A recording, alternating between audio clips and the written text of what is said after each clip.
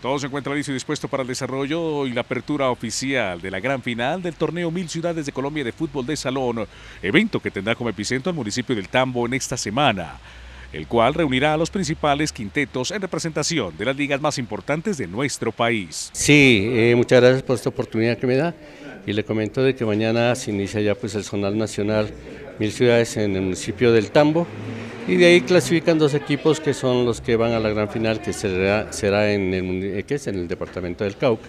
Equipos como Antioquia, Valle, Bogotá, Cauca y Nariño, entre otros, estarán disputando la instancia final del máximo evento a nivel de clubes, a nivel aficionado de nuestro país. Los equipos que vienen acá ya está Antioquia, está Valle, está Cauca, está el Putumayo, está Nariño y está el equipo de, del Tambo equipos que vienen a luchar por ganar los dos cupos para este importante evento. En esta semana cada día se cumplirán tres compromisos y el fin de semana precisamente la instancia final del torneo que entregará dos cupos a la gran final nacional.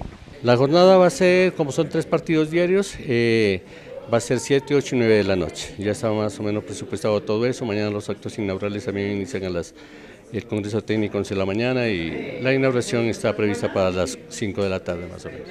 La invitación para que los seguidores del fútbol de salón se congreguen masivamente en el municipio veraniego del Tambo en esta semana.